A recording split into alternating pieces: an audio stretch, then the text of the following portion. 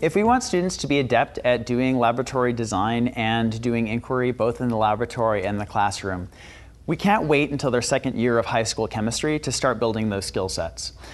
It is important to have conversations and do vertical teaming with the teachers who teach the students you have before they come to your room uh, in order to build those skill sets early on. Now, I, I teach in a high school where I am the only chemistry teacher, and so I can be absolutely certain that I know what happens in the intro chemistry sequence and that they have certain skills and content that they need to pull forward into the advanced chemistry class. You probably don't have that set up in your classroom, um, and that's fine, but the more you can do to build curriculum across ages, and this means even going and having conversations with the middle school that feeds into your high school, the more you can do to get them to start inquiry methods when kids are younger, the more comfortable they're going to be and the more skillful they'll be by the time they get to you. And you can really stretch their level of inquiry further.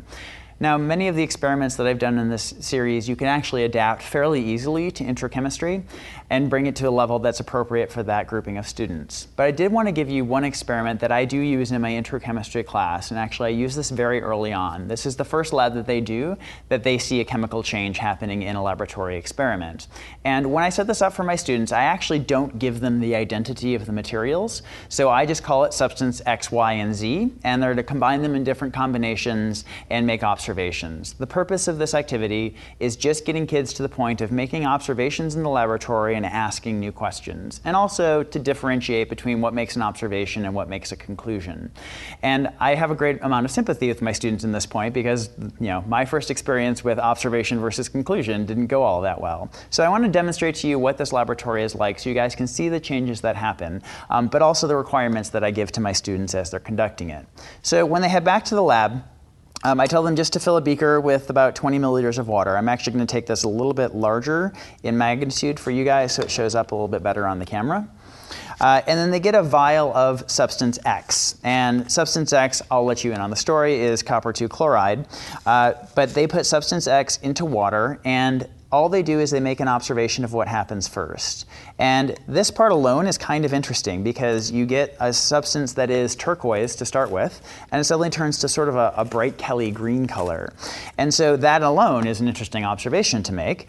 And what we're looking for here are how do you have clues that chemical changes are actually happening in an experiment? And color change is one of those clues that might underlie some molecular change happening on the atomic level. Then, after it's had a chance to settle, they've made their observations, they uh, stir the solution, and then that Kelly green color sort of gives way um, to a turquoise color, it's very close in color to the color of the solid before we began the experiment. And then they take a piece of substance Y, and uh, substance Y is just a foil. Uh, and they take that foil, they ball it up loosely, so there's still a lot of surface area, and then they just need to push it down into the solution and make some observations. So you guys can probably see that there's a reaction that starts pretty immediately. It's a very, very quick moving reaction here. And I just ask my students in this point to make observations. I'm doing evaluations of the students as I'm going around from lab group to lab group. I'm looking at what they've written down for their observations on their lab paper. And I'm pointing to stuff. I'm like, are you sure that's an observation and not a conclusion? How do you know that that's an observation? Did you collect that with your five senses? Um, or were you making an inference to come up to that idea? So the more you can do as you're sort of assessing the students walking through the lab, point them in the right direction as they're going through this. So this reaction occurs pretty quickly my students usually jump to conclusions very rapidly and they say, oh, it's rusting, because they see something that's a rust colored solid on what was a metal, and it's very obvious that the rusting is a natural conclusion. But I say, do you know that it's rusting? They'll also look at substance Y and say, oh, it's aluminum foil. Uh, and I say, well, do you know it's aluminum? Do you have atomic level vision? And so getting them to the point of understanding just the difference between what you truly can see and observe and what you're actually concluding as the experiment progresses. Then, after they're done making observations on this lab, they put this into the waste beaker. I keep the waste beaker in the fume hood and they deposit the chemicals there.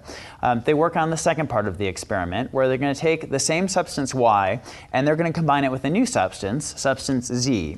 Uh, substance Z is 3 molar hydrochloric acid.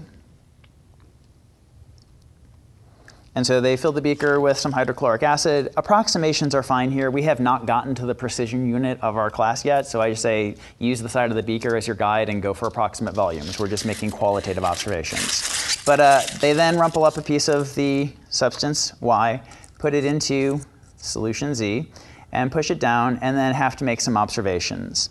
Uh, now, aluminum, if you know anything about its chemistry, has a very durable oxide coat, and that oxide layer is actually very difficult to get um, away from a chemical reaction. So this reaction actually takes a good amount of time.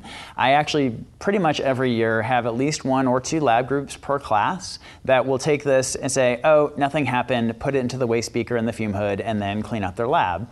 Uh, and you know, they miss the whole point of this, is that there's another reaction reaction. But that in itself is a valuable learning experience, that not all chemical reactions are instantaneous. Some of them are slow to progress.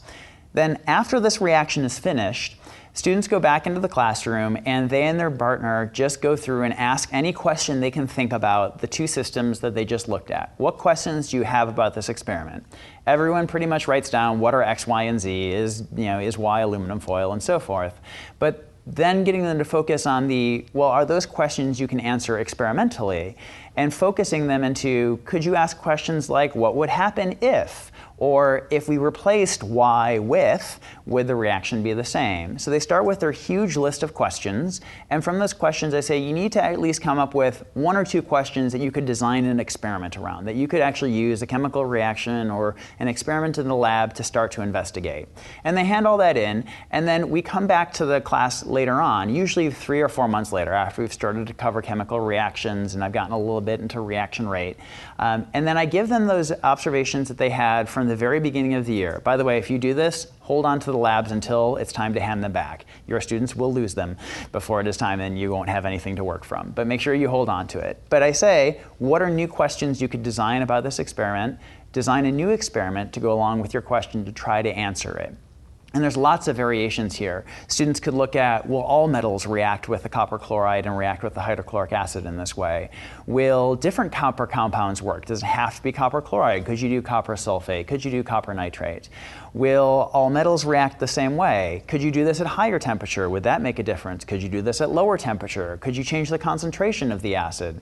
There are a lot of variations that you can do to this experiment to build some of those inquiry skills early on. But the fact that students have asked the question, they've wondered, they've gotten curious about it, and then later on in the course, you're giving them a chance to actually act on that curiosity to design an experiment, that's going to build a pretty good skill set that they're going to be able to apply if they take a second year chemistry course. So I'd encourage you, the earlier you can introduce inquiry, the more manageable it's going to be for your students and the more success they're going to realize later on in their chemistry career.